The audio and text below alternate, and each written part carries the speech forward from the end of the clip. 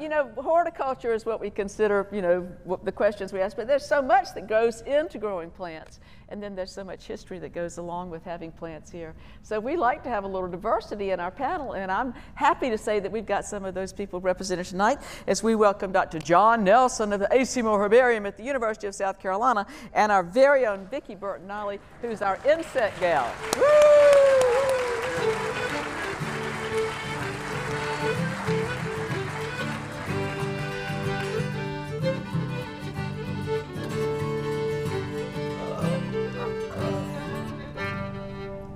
Goodness gracious. Um, John, it looks like you've got something that you're going to um, quiz us about, so quiz away. well, Sean said we might have time for a uh, mystery plant, so I brought something from the backyard.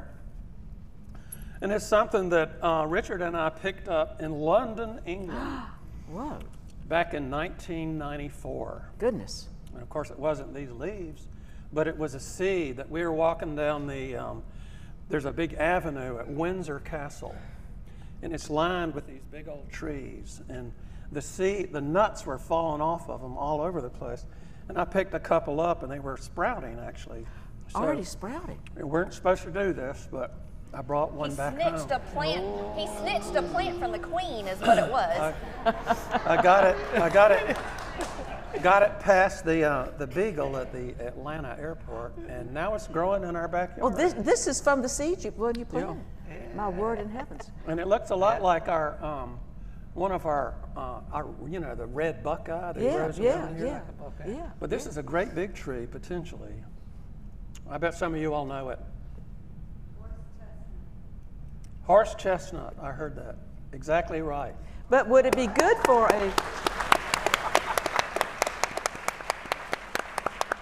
Would it be good for a horse, if a horse could, to eat a chestnut? Because our buckeyes, uh, is, this, is, is, this related to the buckeye? Yes, it is the same genus. Mm-hmm. And but this is a European species. I wonder if it has any of those toxic compounds that our buckeyes have. I wouldn't be surprised. Mm-hmm. Yeah. yeah. Um, I have buckeyes in my backyard, and um, my friend Mary, Mary Reed Pittman um, told me that when her grandmother died, she had about 40 pocketbooks as ladies used to do. And in every single pocketbook was a buckeye because they are supposed to be good luck and help you get rich. Um, I have two pocketbooks and buckeyes are in both of them, and I am waiting for the magic to happen. this is just beautiful. Thank you so much. Yeah. Um, a beautiful deciduous tree. And tell us why this is a compound leaf.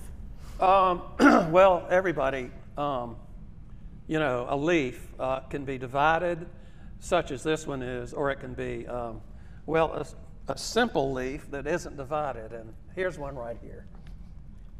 You see, this kind of thing. So it's real easy, except that um, you just got to know what's a leaf. This leaf has five leaflets. Well, why aren't these leaves, Dr. John? Well, the reason is every leaf will have, this is really interesting stuff. Every leaf will have at the bottom of its stalk a bud.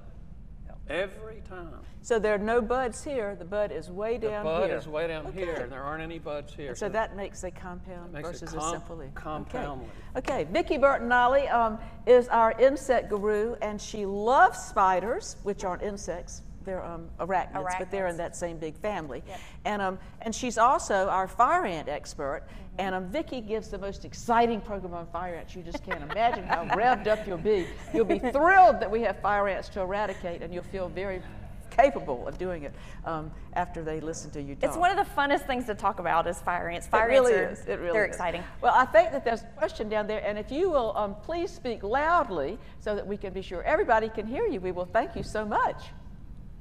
This is Alberta from Blackville with a question about forsythia. Thank you. Well, I'm a transplant from New York, and thanks to your show, I have a beautiful garden, vegetable, and flower. And I seen Vicki at the state fair, and she reminded me about tonight. I know you don't murder crepes, but what do you do with forsythias? Do you cut them back? Do you let them grow? Um, well, Vicki, do you want to I let mine just kind of do its thing, is what I do. Because it's vase shaped. Yeah, it it it it's not really it's not weeping. It's this big kind vase of a fountain shape. type mm-hmm. type. Uh, and Tony, um, and the only thing I ever do with mine is I go in and cut out some of the old canes very close to the ground. Is that how you would recommend doing it? Yes, ma'am. And especially in, in the spring after it's flowered, because you don't want to cut those beautiful flowers off, because that's really what makes forsythia. Forsythia beautiful. Yeah, it Yeah, is. it is a and, beautiful And it, it also is a good signal for when you should put out those pre-emergence herbicides in your Oh yard. my goodness, because weeds are always popping their heads Oh, up. my Oh, goodness. goodness gracious. Thank you for reminding us that. Well, I think we have another question. Vicky's going to be excited because Susan from Colleton has a question about fire ants. Yes, I do. Yes, I do. Not only do I have fire ants, I have fire uncles in my yard. and I really need your help. Do you have any suggestions on any type? th- th- So we won't hurt, hurt the other little insects. You know, we're after the fire ants, but what we, can we do to get them away and yet keep the healthy, keep the balance going? Is what I'm trying to say. So the great thing about fire ants is that we've got pesticides that kind of target the fire ant. So um, you're not having off-target effects. You're not killing other stuff. Um, and the fire ant baits are really good about that. And whenever you put this stuff out, so um, there was a study done. Dr. Tim Davis did a survey of the ants of South Carolina. There's at least 121 different species of ants out there. Um, Dr. Eric Benson says it's going to be, it's probably closer to over 200. And whenever you apply fire ant bait, um, fire ants are the number one predator in their ecosystem and they um, outcompete everybody else. So whenever you put fire ant bait out, they tend to beat everybody to the bait. So you're not going to harm any of the So other you're not, ants, you tend not to harm the other, the many other of which are just our native species. And Yeah. what happens is, is the fire ant populations go down, and then the other ant populations go up, and so then their populations help control the fire ants too. Okay. So it's not just chemical control; there's also natural biological control going on too. Okay, we have a few, just a few minutes left, so we will quickly try to help you, sir. All right, Larry from Sumter, what's going on? You want a question about rye? No, I just wanted to know is it too late to plant a winter garden? And if not, what would you plant? Aha. Tony, I'm going to let you tell us this one, please. Okay. Well, a seed on a lot of uh, different vegetables are really inexpensive, and if you do, and you might not want to have a big plant, you can still have some small plants, and you can still plant some things like turnips, mustard, Kale. and kale, and all those things that grow fairly fast. If it's a good, if you plant them during a warm time and the soil's warm, they'll come right up. Like right now, they probably come up pretty good. If you wait later, they won't come up as good. But yeah, get them short. And actually, uh, those mini greens, people are going crazy You over can make money things. with those mini greens. That's yeah, right. yeah. Um, how about that row cover to, to cover them up? Yep, you can. Uh, row cover's wonderful. Uh, Inexpensive? inexpensive.